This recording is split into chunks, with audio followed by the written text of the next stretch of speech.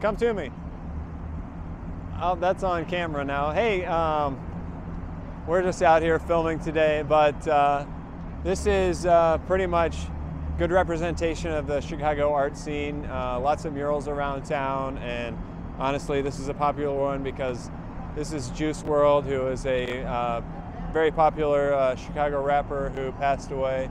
But all around the city, there are murals, and uh, if you really are around town, you see people taking pictures of murals all over the place. And honestly, it's just a lot of fun to be in the city because if you love art, it's everywhere. And honestly, this is uh, maybe not your kind of art, but your kind of art is out there somewhere. I guarantee it. If you look around the city, you will find something you like. But uh, that's pretty much it. We're just hanging out. Hope you have a good day. Thanks.